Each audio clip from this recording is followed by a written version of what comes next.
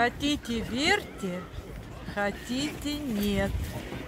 Надежда сказала эти слова, потому что я всегда рассказываю о том месте, в котором мы живем, с гордостью сообщаю, Кёльн и территория вокруг него называется синоптиками Кёльнер Бухт. И это место, где самый теплый в Германии климат.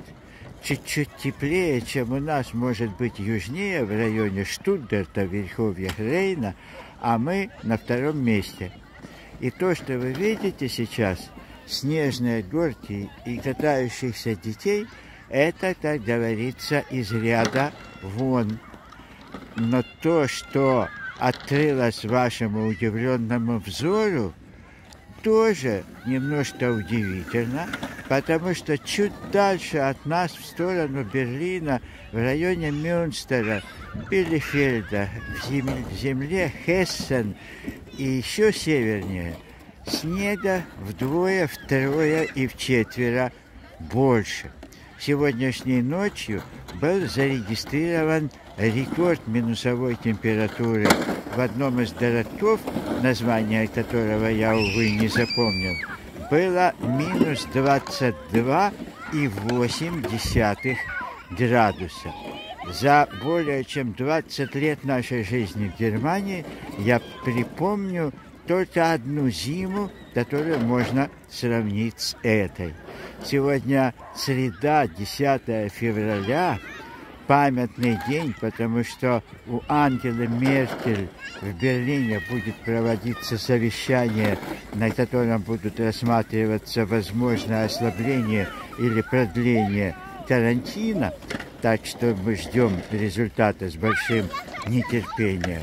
Вчера было совсем прохладно, а сегодня тоже около ноля, минус два примерно – погода мягкая, находиться на улице – одно удовольствие. И мы с женой, конечно, в такую погоду усидеть дома не можем. Ну, просто не так совсем. Один из любимых наших маршрутов – Розовый замок в районе Бенрад, парк вокруг этого замка – в Плавни, расположенной отсюда в нескольких километрах, сегодня мы не поедем, а просто два-три раза обойдем парк по тропинкам и дорожкам. Ну, а отойти отсюда ну, просто невозможно. Смотрите, какое чудо.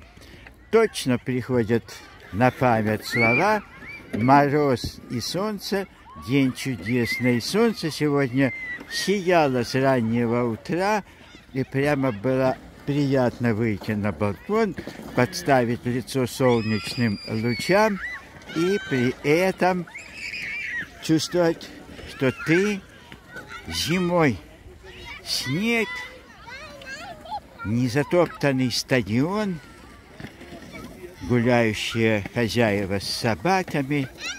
В общем, настоящая зима, нетрадиционная для Германии ситуация. Спасибо вам, друзья. Вы являетесь свидетелями этого необычного, чудесного явления. Надя спросила, толстый ли лед, и нам показали, да, довольно толстый. Что тебе сказали? Толстый лед? Да. Так нет, он наоборот сказал, что очень тонкий лед. Что вот сейчас пацан чуть не провалился. Ну вот, поэтому мы экспериментировать не будем и вам не рекомендуем. Спасибо вам. До новых видеосюжетов. Ваш Григорий и Надежда. Пока. Пока.